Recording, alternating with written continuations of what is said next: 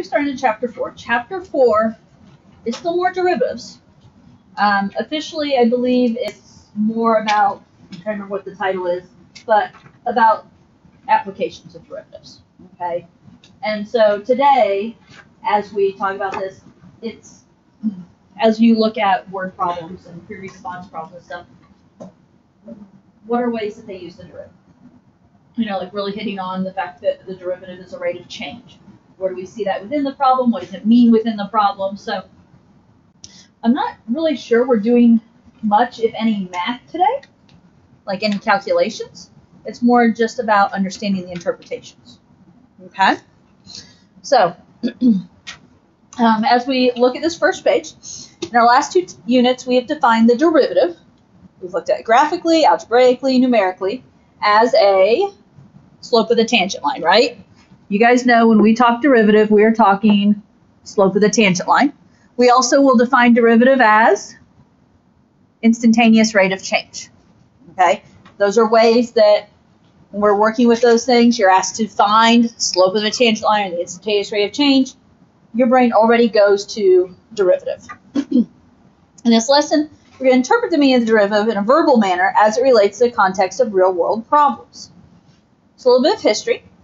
While Newton was developing his ideas of the infinitesimal calculus, namely when given a fluent, we don't use the word fluent in math though, we use the word function, to find its fluxion, again, we don't use the word fluxion, we call it a derivative, his thinking was concentrated on velocity. But today we know the derivative is important, reaches into many other areas involving, what did we talk about? Derivative is rate of change. Okay, anything involving rate of change there. If we look at the Leibniz notation, he stated that the variable y depended on x. And that is the idea that x is your independent variable, y is your dependent variable. Then the derivative could be expressed as dy dx. If we allow ourselves to think as d as representing a small difference in some process, okay, we're reminded that the derivative is simply the limit of ratios in the familiar form. So when we talk about dy dx, it's a change in y over the change in x, just like when we talk about slope. Um, similarly, we can read d dx as a single symbol meaning the derivative with respect to x. Brings us to this new place of understanding the notation d dx of y. So the derivative of y with respect to x, or the derivative with respect to x of y. Leibniz notation can be a little cumbersome, so the dy dx. I know if you guys like me, you prefer to use the prime notation. Um, but a little cumbersome when you need to specify the exact x value where you need to evaluate the derivative. However, the benefit is you can read more about the rate in terms of what your variables are. So dy dx. It's easier, I think we'd all agree, it's easier to say, oh, I want to find the derivative at 3 so f prime of 3. However, dy dx evaluated at x equals 3 just kind of reminds us what we're taking the derivative of with respect to what. Okay? Now, as we look at these examples today, it's a lot of writing out definitions, interpreting, those type of things. So as we look at example 1, Sean is cleaning out his saltwater fish tank and needs to drain some of the water in order to adjust the saline levels. If the volume of the tank V is in gallons, is being drained over time T in minutes, what is a meaningful interpretation of the following statement as it relates to Sean's fish tank? So as we see that right now, I would read that as dv dt, evaluate at t equals 3, is equal to negative 2. Right? That's just the mathematical reading. But what does that mean in the context of this problem?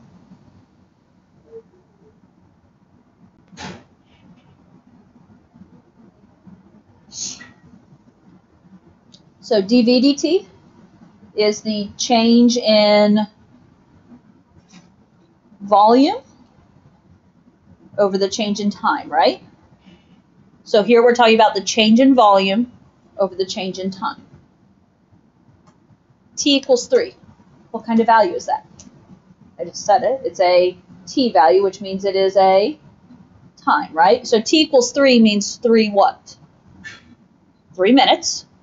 And this equals negative 2. So what are we saying there?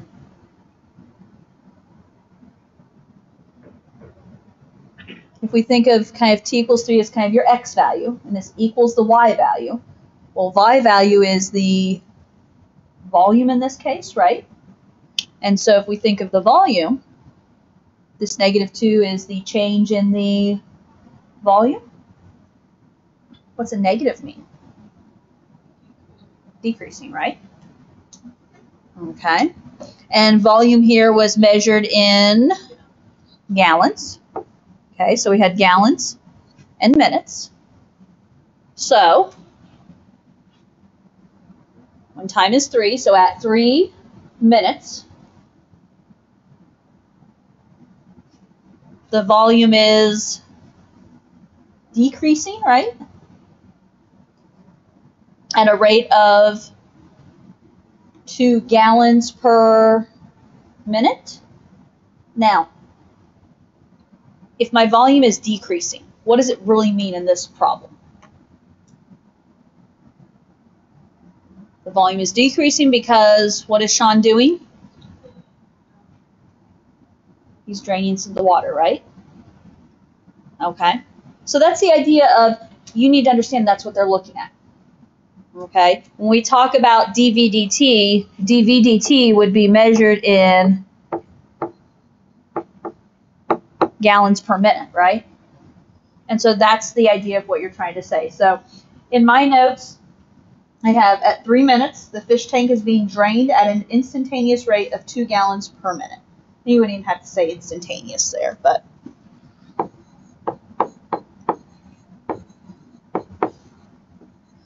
Definitely put your labels in there. Okay, at three minutes, the fish tank is being drained. And it's really good to use the word rate. At a rate of two gallons per minute. Okay. I feel like a lot of these derivatives we talk about today, you'll hear me use the word rate. You need to be able to acknowledge that the derivative is a rate. Does that work for you guys? That's the type of stuff we're doing today. Kind of different, right? Not our typical math lesson. Okay. Just like any other language course, we need to use proper name, spelling, grammar conventions. AP Calculus is no different than AP Language. There are many real-world functions that depend on variables other than x, y, or time. Learning to read and write correct notation will help you succeed on free response free response prompts, guys. In other words, part of what you are graded on on a free response is not always just your numerical answer. It's sometimes how you explain it, how you label it. So understanding what is a derivative, understanding its rate of change is incredibly important in that scenario. Okay? So, some of what you're going to be doing in homework. Interpreting, right? Read each scenario, write the proper notation for the derivative.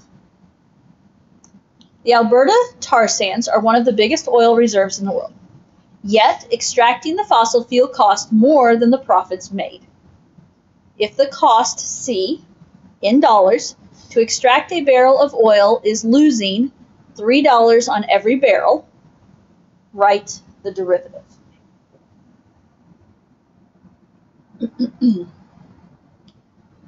so, if we talk about some variables here, what do we have? We already have defined cost, right? They told us cost, and they told us that cost is late is uh, labeled in dollars. Okay. That's the only variable they gave us, but we're going to have to have two variables, guys. No way about it. No way around it.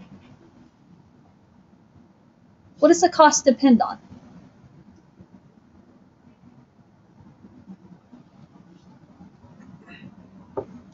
Cost C. And then that base is based on to extract a barrel of oil. Okay. Losing $3 every barrel.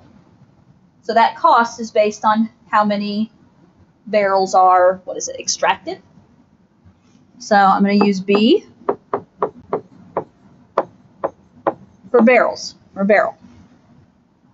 And that B for barrel is just saying it's $3 on every barrel, right? So this B for barrel is just saying the number of barrels, if you will.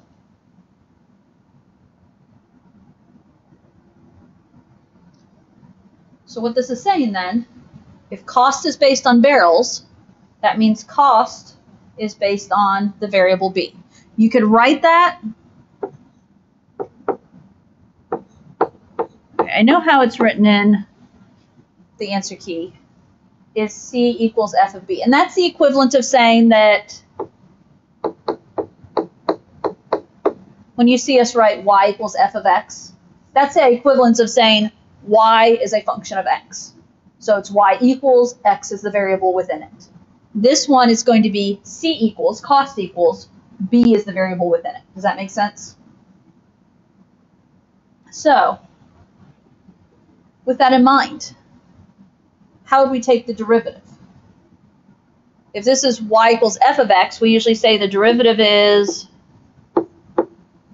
dy dx, or we say the derivative is f prime of x, right? So if we throw these other variables in, we could say the derivative of f prime of b, or we could say, what could I say instead of dy dx? Derivative the cost with respect, or derivative the cost with respect to derivative the barrel okay, because the cost is dependent on the number of barrels. How that cost is changing is dependent on how many barrels are extracted. So we could write it as f prime of b. However, I'll be honest, I'd rather you focus today on dc db, which is the equivalence of dy dx, right? Or that problem that was on the front page, it was dv dt, right? Change in volume over change in time. This is change in cost over change in number of barrels. And what is the derivative equal to in this problem? Negative 3. Why negative? Yeah. So that cost is decreasing negative $3 for every barrel that is, what was it, extracted. And that's going to be negative 3, what kind of label? change in cost over change in barrels. So this is going to be change in dollars per barrel. Okay, your label, if you look at DCDB, use that to help you with your label. Okay, because it's a change in cost, which cost was in dollars, or a change in barrel, which is number of barrels. Questions? Yes, no? Okay. I can't say that I've taught it like this before, so talk to me if I need to explain differently or, you know, let me know what I need to say differently. Or maybe you just need another example to help it sink in. Or maybe it's easy peasy and I just need to keep moving. The Deepwater Horizon oil spill is regarded as one of the largest environmental disasters in American history. The oil leak was discovered on April 22, 2010. Has it been that long ago? I don't know. I was six. So. I would say, I know, you guys were young. To me, it just seems like recent history, which it's not that forever ago, just. I'd say to me, that feels like it's a lot sooner. Because I, I always picture that being like further past. Like before you guys were born, maybe. Yeah, that's what I think. Whereas I think of it as it just happened recently. So, okay. So the oil leak was discovered April 22nd, 2010. BP originally estimated that the flow rate was about 790 cubic meters per day at the end of the first week. That's a lot. How long did it go? I don't know. I really don't. Okay, what variable should we talk about here? They didn't give me any, and we need to come up with some that makes sense in the problem, not just x and y, please. What are we talking about here? And I would use, they give us a rate here, yes? Flow rate, so there's rate, was about 790. Use this label as a hint. Cubic meters per day. So what are the two variables we need to talk about? What?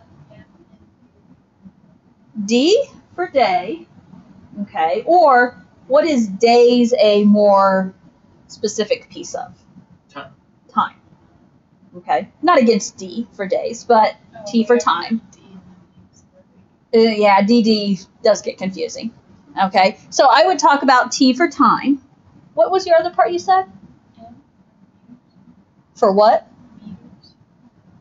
But it's not just meters. Okay, and what is M cubed represent? Meters cubed is a label for what? Flow. What do you say?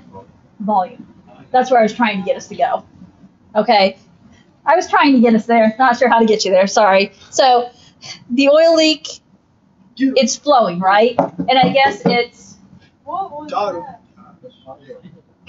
I saw it came like straight from over. There. It made a beeline for you. I saw this. And I hit it, and it was just like that. okay. So we're talking about that oil flowing, and it's measured in cubic meters. That oil, we're talking about the volume of the oil.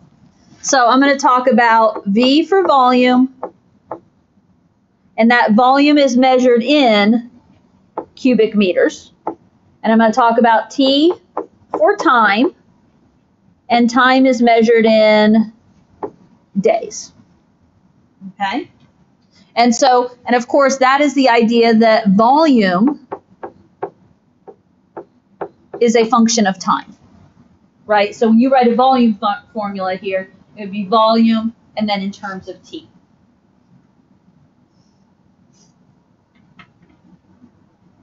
Now, they give us some information here, right? It says it was estimated, estimated to be 790 cubic meters per day when? Into the first week, which is seven days. So T is seven. When T is seven, the volume is that 790, right? So, what is this? I do I want to write this?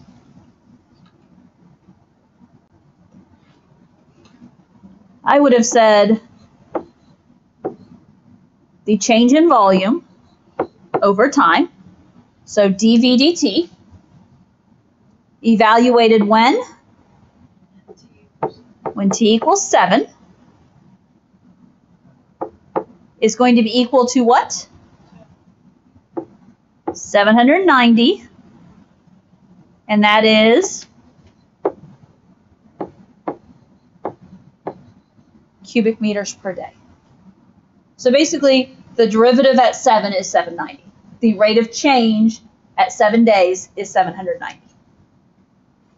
And we also could have said this as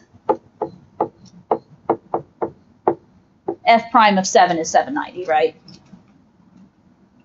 Okay. Moving on to C unless you got a question. You gotta keep us moving. This is gonna take longer to explain than I thought, so. Oof. Okay, population P of the endangered mountain gorilla has an ongoing study tracking the number of gorillas since 1992. The population increased by 114 gorillas during 2003 of this same study. Okay, they gave me one for uh, formula, uh, not formula, variable. Yes.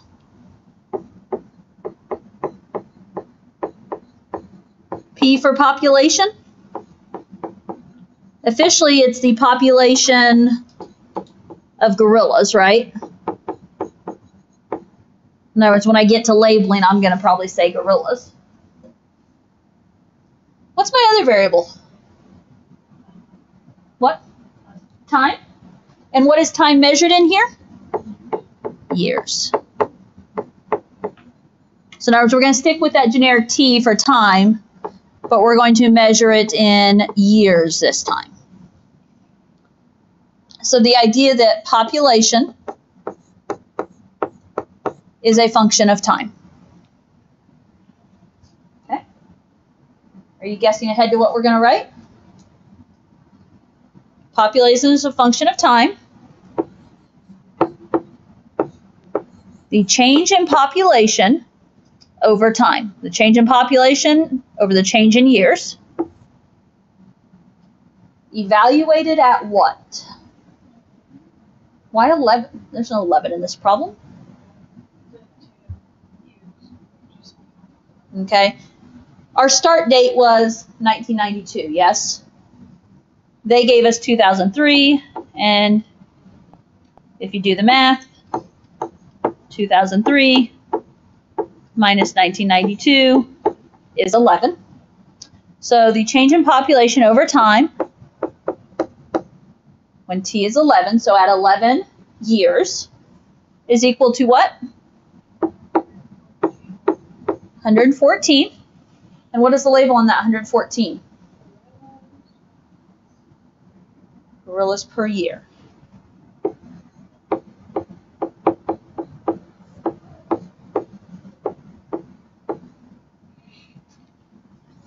Okay.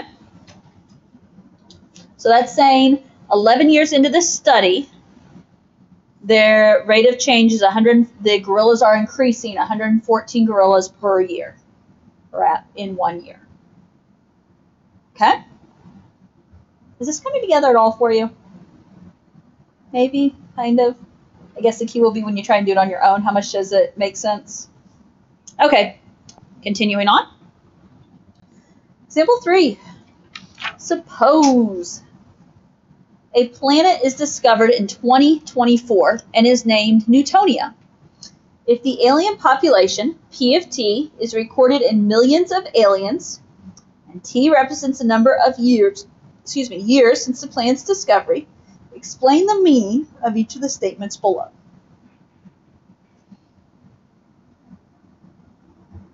So let's see.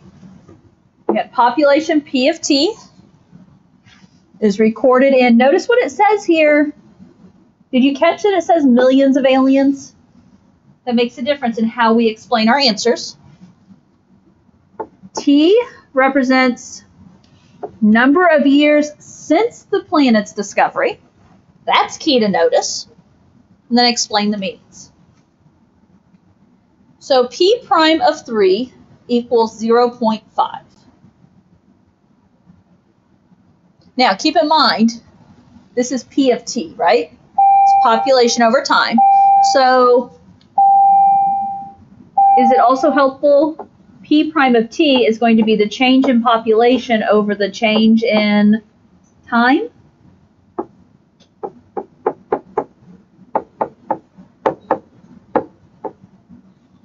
I don't know if that, you know, that's just me writing the same thing. That's not answering the question at all because we have to put this in words. Thoughts on what this means?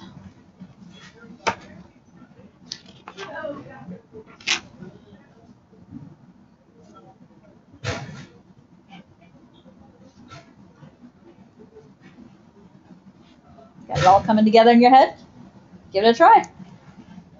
2027, the population of aliens is 500,000. Almost, I almost like it. Or I almost like it all the way, I guess. Do we agree with 2027? Because it's three years from 2024. Now, how did you say your last part? It's 500,000. Okay, I agree with 500,000. Why did he say 500,000? It's half a million, which is 500,000. Now, the only part I didn't like is he said the population is 500,000. It's a derivative means it is a rate of change. This is a positive one half. So positive 500,000 means we are increasing at a rate of 500,000 aliens. Is it per year? Per year. Okay, so be careful. I'm guilty of that too. I just want to say, oh, it's 500,000. No, this is a derivative, so it's a rate. It is increasing at the rate of 500,000 aliens per year. I like it. Okay. So I'm going to say in three years, I shouldn't have said it that way. Well, in 2027,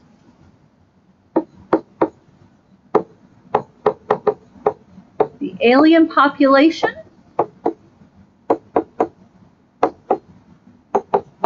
will be increasing at a rate of 500,000 aliens per year. Okay? Good. Okay. I guess I never said the alien population on Newtonia. Sorry. Okay. Okay, B. Besides derivatives, we're throwing in some inverse, right? Ew, love it.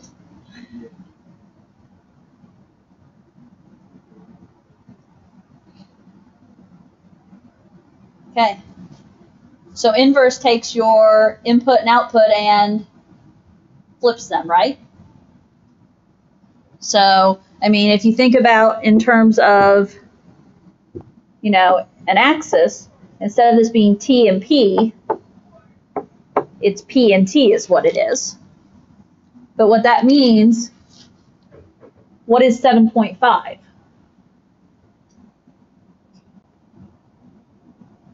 It's not time, it is population, or in other words, aliens. And then 5 is going to be your time or your years.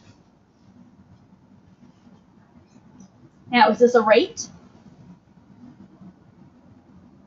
This isn't a derivative, is it? So this is just the population on Newtonia will be, what's 7.5 mean? 7.5 million aliens. Not in five years, but five years after 2024, or in other words, in 2029, right? Okay, so just watch out. It just, you know, it switches really what the 7.5 and 5 represent. So write down some basics. The population on Newtonia will be 7.5 million aliens. Five years after 2024. So in 2029. Obviously, wording doesn't have to be exact, but you need to be able to express this, right? You can earn, earn more points on your free response the more you can express and explain and show you understand. Okay, C. Making my brain hurt. Now we've got to do the derivative of the inverse. So derivative means this is a rate of change, not the population will be, but there'll be a rate of change there.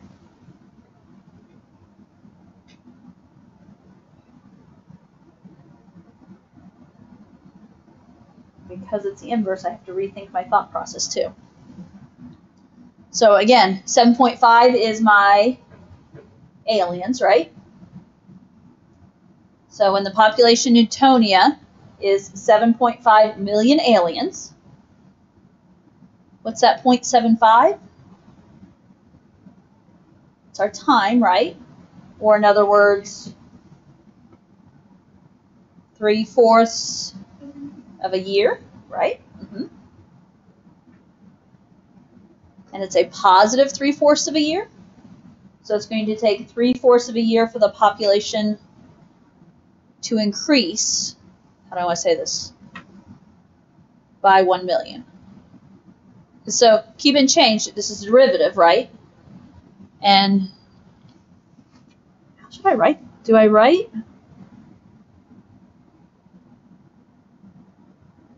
Normally we would say change in population over change in years. I'm not even going to try and write it like this in this form because I'm not exactly sure how I should write it in that form. So, okay. So when the population is seven and a half million aliens, it's going to take three fourths of a year to increase that population by one million. So per one unit, and one unit in this case is one million. Does that make sense? I have to stop and process that one.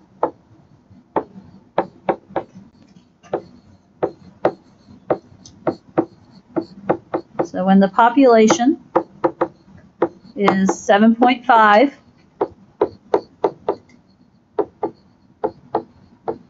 million aliens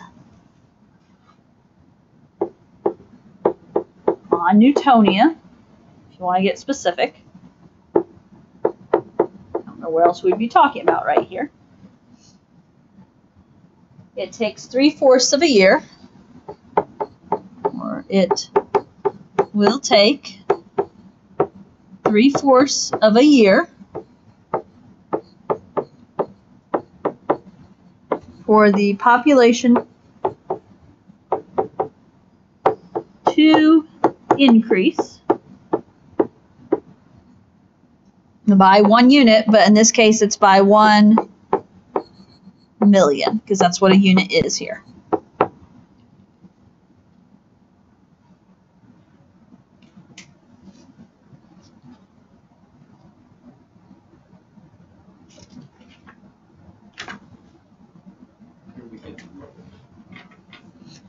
because when we talked about population, the population is recorded in millions of aliens.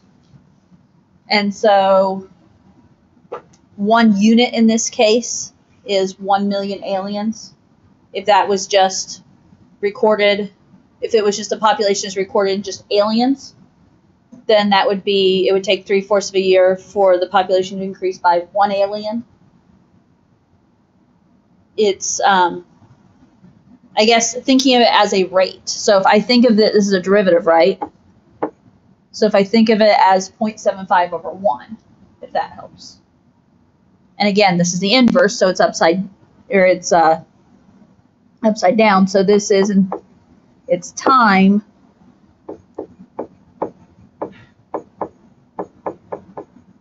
per population, if that makes sense. Okay, because normally a normal derivative would be the change in population over the change in time. Because this is the inverse and my input and output are flipped, it's a change in time over change in population. And I guess it technically wouldn't be wrong if you said it would take. Well, no, you can't do that. I would say, could you separate the three and four, but it doesn't really work when you already have that 7.5 over there. So, does that help? Helps me as I try and figure out how to explain this. Okay, one more page when you guys are ready. Your homework is doing the same type stuff. Mm-hmm. Although I feel like the homework is doing more of what we're doing right now than anything. Just trying to put it all into sense. Okay. In the next examples, we're going to show how clues from the units can help you recognize interpretations of the derivatives as they relate to real world scenarios. So example four. Suppose you launch a water balloon from a giant slingshot. Let S of t give the distance in feet that the water balloon traveled from its initial starting position, starting point, as a function of time t in seconds. Explain the meaning of the derivative notation. ds dt, evaluate t equals 2, or in other words, s prime of 2, is 38 feet per second. Are your physics brains seeing this?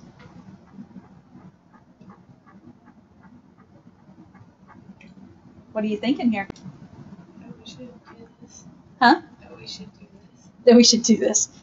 That we should get a giant slingshot and launch a water balloon and see what we can hit and okay, well.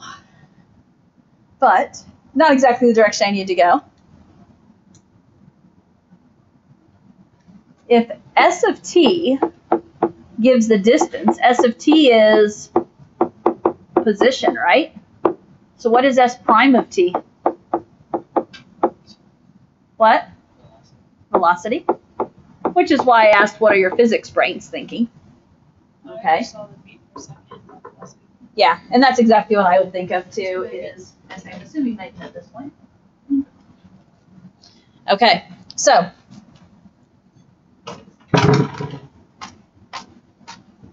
put it together, and you don't necessarily have to use the word velocity, although it kind of makes sense if you know if we're talking position or distance. I think that the derivative of it is velocity. So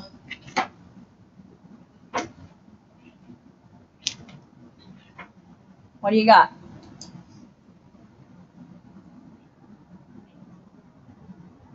It's the change in position over time, or in other words, the velocity. So is it like at two seconds after launch, the velocity will be 38 feet per second? Mm-hmm. Okay. I have the word instantaneous thrown in because officially the derivative represents instantaneous rate of change. So yeah, I have when t equals two seconds, the water balloon is moving at a velocity or instantaneous velocity of 38 feet per second. Okay.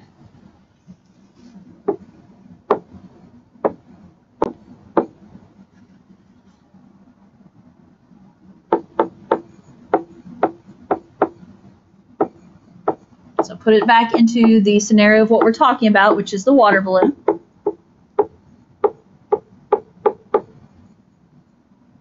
So when t equals two seconds, the water balloon is moving at an instantaneous velocity of 38 feet per second. They gave a lot of information there. They put a label in the answer, so I think that makes it a little more, a little easier to interpret.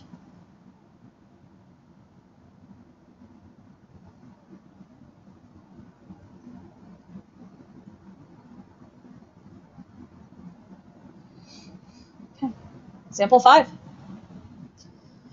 The total cost, C, in dollars of an airplane flight is a function of the number of passengers in can be calculated by derivative airlines using the function C equals F of N. What does it mean to say F prime of 182 equals 58? Gotta love the name of the airlines, right? Or maybe just roll your eyes at it, but.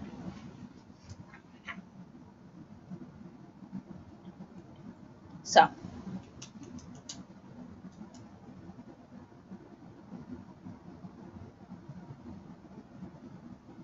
What do you have here? What's 182 represent? Okay, this is our, if we just kind of break it down, which is what I have to do. Those are our passengers, right? What's 58 represent? Okay, this is cost, right? This is where my brain has to go. So I have to think, okay, what do each of those numbers represent? and then its derivative. Derivative means it's a rate of change, right? So how are we going to put this into words?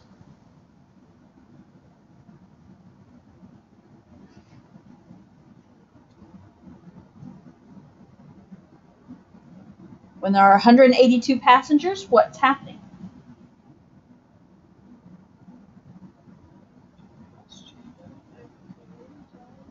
And is it increasing or decreasing by $58?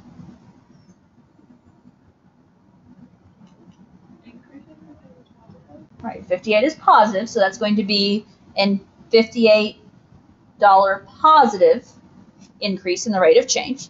So when there are 182 passengers on the flight, the cost is increasing at a rate of $58. I think it's per passenger, right? Yeah. Because again, remember, if we're thinking it's the change in cost over the change in in, right? So it's a change in cost per passenger. That's what my brain has to think there. So, when there are 182 passengers,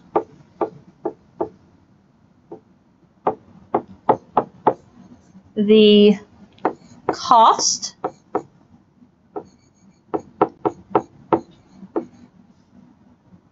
will be increasing at a rate of $58 per passenger.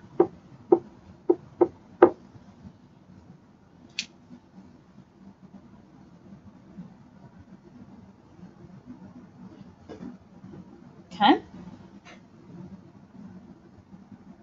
Notice I threw that word rate in there again because it's derivative, right?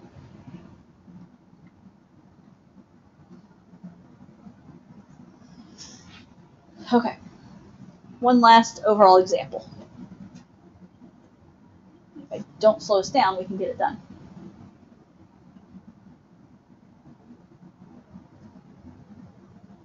Number six talks about non-potable water is being pumped into a processing center where the depth in feet of the water at time t in hours is given by y equals h of t. Interpret the following statements using the proper units. Okay. Did you catch all the information they gave us? Depth is in feet. We're going to need to know that. Time is in hours. We're talking about h of t here. Interpret the following statements using the proper units. h of 7 equals 5.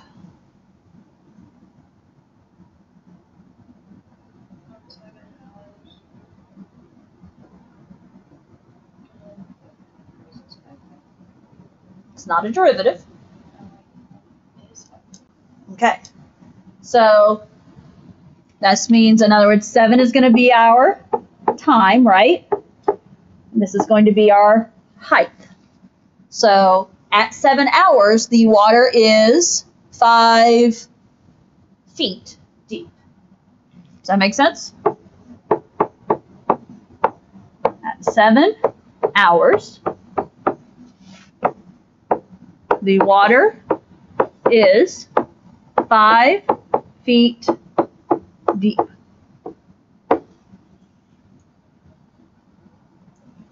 It's not a derivative. Beware. It's not a derivative. We go back to the basics. V. H prime of 7 equals 0.6.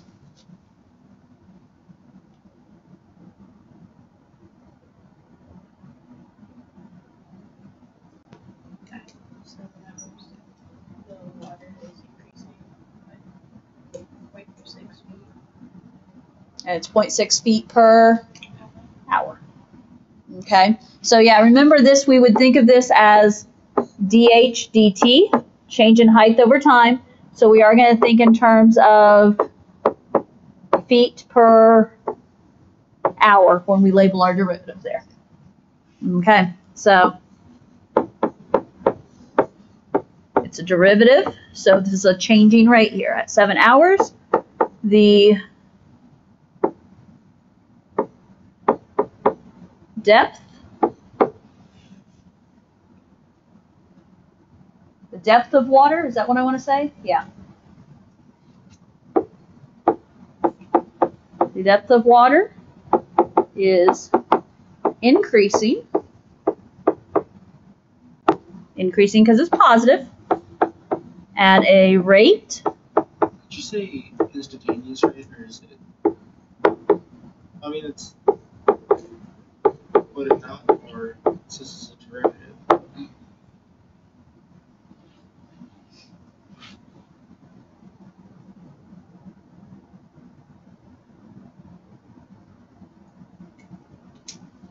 You don't usually see it thrown in there, instantaneous thrown in there at this point.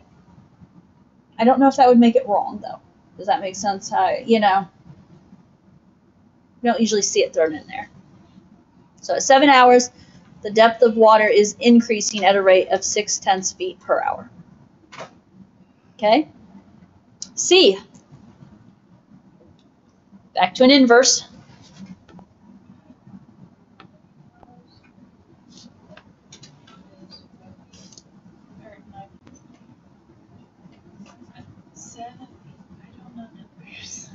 Okay, so my input and output have switched, right? So 9 is going to be my time, and 7 is going to be my, started to say depth, but height, whatever, you know, however you want to say it. So, yes, after 9 hours, the water is 7 feet deep.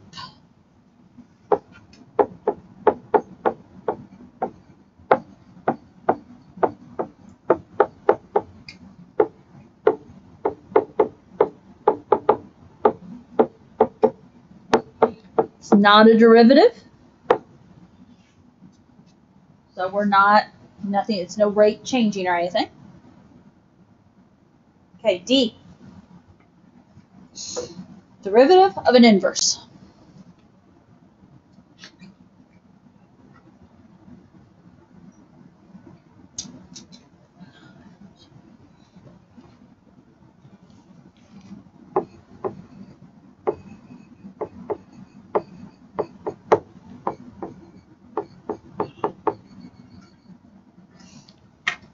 Know, maybe that's more for me than you, but I, I have to think through this.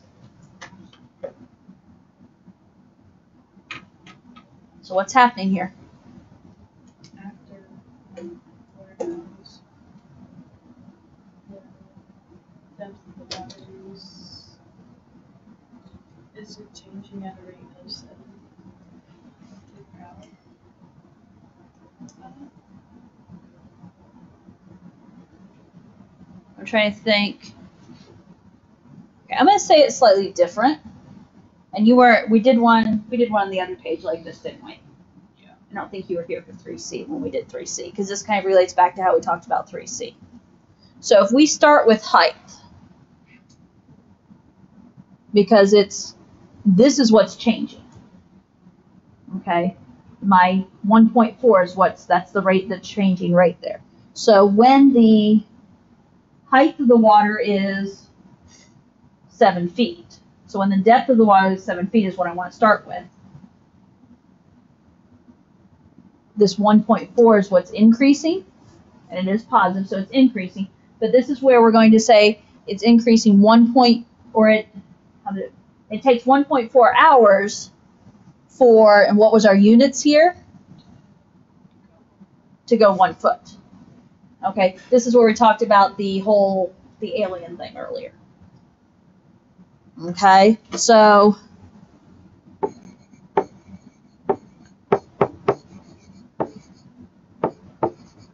when the water is seven feet deep.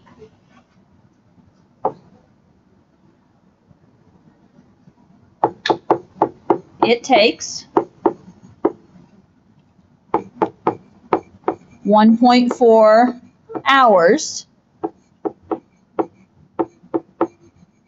for the water to increase one foot more or increase one foot.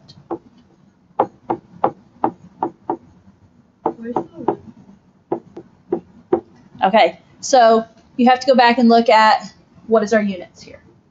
In terms of it's the time is 1.4 hours, and that is 1.4 hours per foot here.